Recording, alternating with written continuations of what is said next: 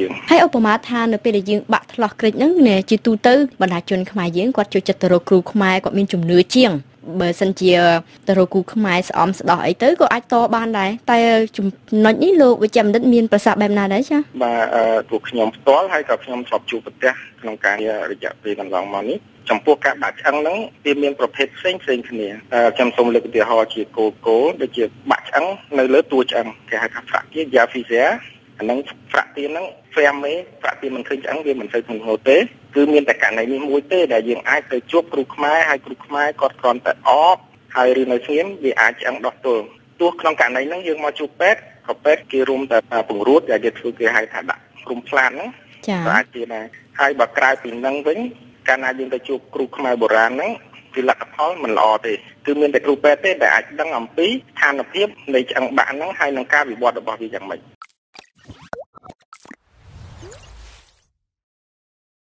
នៅក្នុងពេលមានគ្រោះថ្នាក់ម្ដងម្ដងបើជាគ្រោះថ្នាក់ធ្ងន់យើងអាចមើលឃើញភ្លាមក៏ប៉ុន្តែបើជាគ្រោះថ្នាក់ល្មមល្មម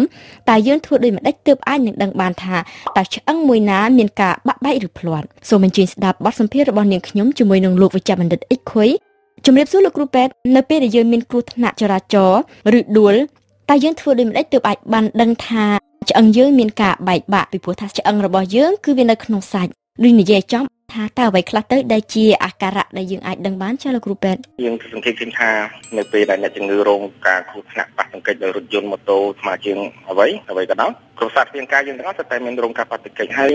មានតែគ្រូពេទ្យទេដែលអាចដឹងច្បាស់អំពីស្ថានភាពអ្នកជំងឺអ្នកជំងឺនឹងធ្ងន់ស្រាលឬមួយបាក់ឬមិនបាក់ស្ថានភាពអ្នកជំងឺដែលយើងឃើញហ្នឹងទីមួយអ្នកជំងឺអាចសន្លប់គឺភាគច្រើនគឺប៉ះទង្គិចទៅលើក្បាលហើយករណីទី2គឺស្លឈាមថាសុក ដោយសារមានការហូរឈាមយ៉ាងច្រើនទោះយើងមើលឃើញនឹងនៅនឹងភ្នែកឬមួយហូរឈាមផ្នែកខាងក្នុងហើយផ្នែកទី3ដែលយើងឃើញនៅនឹងភ្នែកតែអ្នកជំងឺមិនមានការសន្លប់ទេស្មារតីអ្នកជំងឺនៅល្អធម្មតាបាក់ដៃបាក់ជើងទោះឃើញឆ្អឹងក្តីឬមិនឃើញឆ្អឹងក្តីហ្វ្រាក់ទាឃើញឆ្អឹងដែលគេយើងហៅថាហ្វ្រាក់ទាគឺវាក្នុងករណីដែលមានការប៉ះទង្គិចមិនសូវធ្ងន់ធ្ងរតែមកយើងមិនអាចមើលឃើញនឹងភ្នែកបានក្នុងករណីនេះសញ្ញាដែលយើងចាប់អារម្មណ៍ខ្លាំងគឺមានការឈឺចាប់នៅត្រង់កន្លែងបាក់ហ្នឹងពេលយើងប៉ះពេលយើងស្ទាបអីសម្ាំងហ្នឹងហើយទី2មានហើមដោយសារអេម៉ាតូមទី3អ្នកជំងឺអាចមានការប្រែប្រួលអវយវៈទៅឈឺខ្លាំងឬមួយមានមានចលនាមួយហាក់ដូចជាមានសន្លាក់មួយមិនធម្មតានៅកន្លែងដែលយើងប៉ះទង្គិចហ្នឹងអញ្ចឹងបានសេចក្តីថានៅពេលដែលយើងមានគ្រោះថ្នាក់ដួលបាក់ឬគ្រោះថ្នាក់ចរាចរណ៍អ្វីមួយ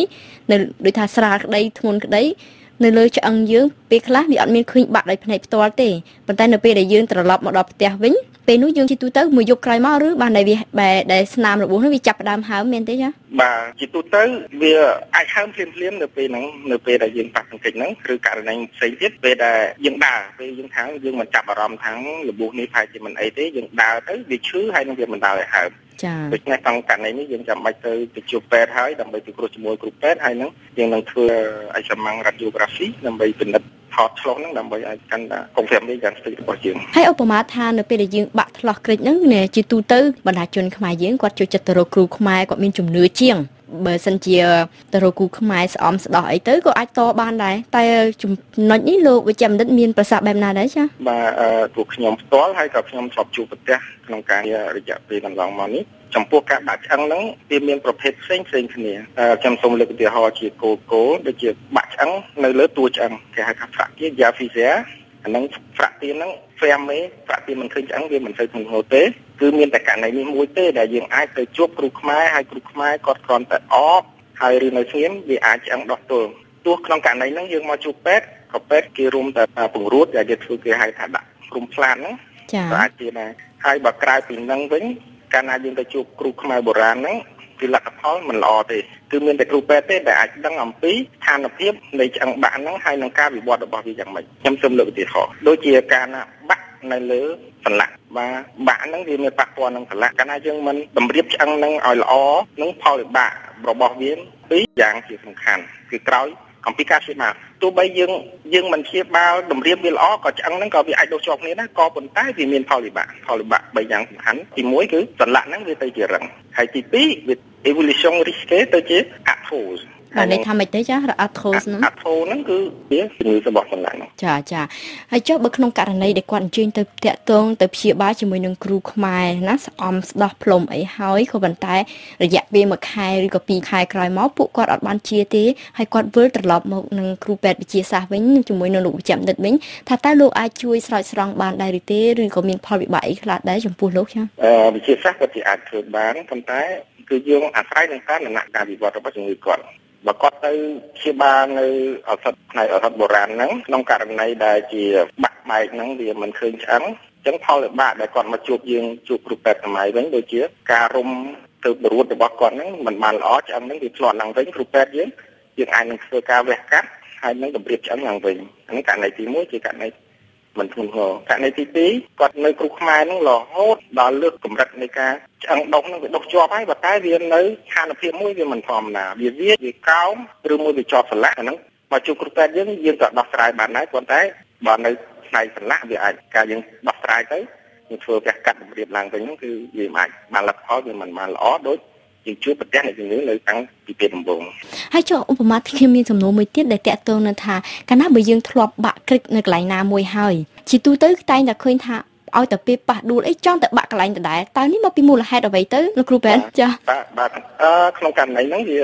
វាអាស្រ័យនឹងតាមពេលវេលារបស់ឆ្អឹងហ្នឹងតើវាដុសជាប់បានល្អឬទេជាទូទៅឆ្អឹងមួយមួយវាមានរយៈពេល នៃការដុសរបស់វាដុសជាប់របស់វាបាទដូចជាខ្ញុំខ្ញុំលើកឧទាហរណ៍ដូចជាតួឆ្អឹងឆ្អឹងផ្លូវវាត្រូវរយៈពេល90ថ្ងៃទៅវាអាចដុសជាប់ល្អឆ្អឹងស្មងជើង90ថ្ងៃដែរឆ្អឹងដើមដៃថ្ងៃឆ្អឹងប្រពន្ធដៃ90ថ្ងៃអញ្ចឹងបើសិនជាគ្រោះថ្នាក់ហ្នឹង90ថ្ងៃកន្លងផុតការឆ្អឹងហ្នឹងវាដុសបានល្អរឿង1ឆ្នាំ2ឆ្នាំទៅអាហ្នឹងការណាប៉ះតិចទៅលើហ្នឹងវាមិនមិនមានបញ្ហាទេតែបើក្នុងរយៈពេលមួយក្រោម1ឆ្នាំឬ ត្រឹមតែ90ថ្ងៃក៏ទៅ3ខែឬ3ខែជាងការដុសរបស់វាមិនទាន់បានល្អអញ្ចឹងការប៉ះទង្គិចទៅលើហ្នឹងវាអាចធ្វើឲ្យ risk ឬសាក់ទីឡើងវិញចាចាហើយចុះនៅពេលព្យាបាលខ្ញុំចង់ដឹងថាតើនៅតាមបែបបែបវិទ្យាសាស្ត្រគេព្យាបាលយ៉ាងម៉េចខ្លះនៅពេលដែលយើងមានការបាក់ឆ្អឹង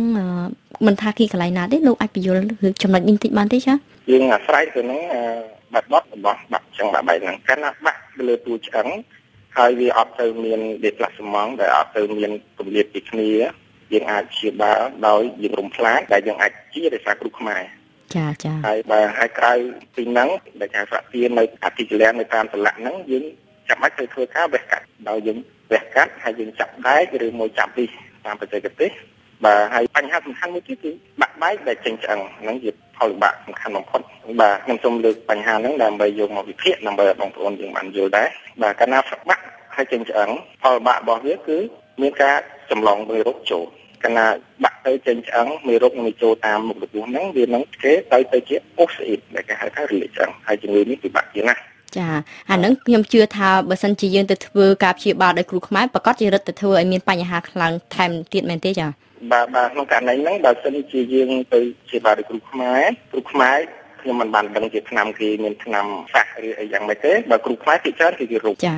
បាទគេរុំលើមុខរបួសហ្នឹងគេដាក់ ឆ្នាំដាក់អីហ្នឹងសាមសាមហ្នឹងធ្វើឲ្យមេរោគនេះកាន់តែរស់រានមានជីវិតដូចនេះវានឹងធ្វើឲ្យទៅជាផលវិបាកមួយគឺអង្គិសុង ហើយអង្គិសុងទៅលើឆ្អឹងហ្នឹងគឺមិនងាយជាទេចាចាដូច្នេះតើអ្វីទៅជាដំបូងមានចុងក្រោយរបស់លោកវិជ្ជបណ្ឌិតចាបាទដំបូងមានបញ្ហាទីសំខាន់គឺឲ្យស្គាល់ពីមូលហេតុនៃការបាក់បែកសារាចរដូច្នេះបញ្ហាសំខាន់គឺយើងត្រូវដឹងអំពីគ្រោះថ្នាក់ចរាចរណ៍ត្រូវវិធីការពារគ្រោះថ្នាក់ចរាចរណ៍ហើយទី2បើយើងដឹងថាមានគ្រោះថ្នាក់ចរាចរណ៍ហើយមានប៉ះទង្គិចទៅលើឆ្អឹងនៅផ្នែកណាមួយនៃឆ្អឹងរបស់យើងយើងចាំបាច់ត្រូវទៅពិគ្រោះជាមួយគ្រូពេទ្យគឺមានតែគ្រូពេទ្យទេដែលគេអាចដឹងអំពី ស្ថានភាពរបស់យើងយ៉ាងម៉េចហើយទី3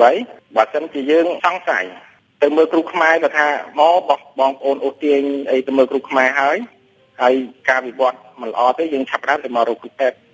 ខ្ញុំសូមបញ្ជាក់ថាពីមុនដែលយើងនាំគ្នាបារម្ភថាមកពេទ្យគឺដឹងទៅពីពេទ្យកាត់ជើងមិនមែនទេ